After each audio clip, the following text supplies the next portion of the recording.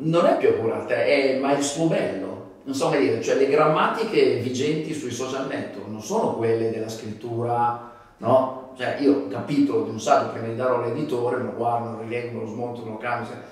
Qua invece non funziona così, ma è il suo bello, cioè non è un limite. Le persone vogliono questo livello di spontaneità nei post eh, sui social media, altrimenti non va bene. La cosa più emblematica mi capita quando un cliente mi dice questo post è fatto troppo bene,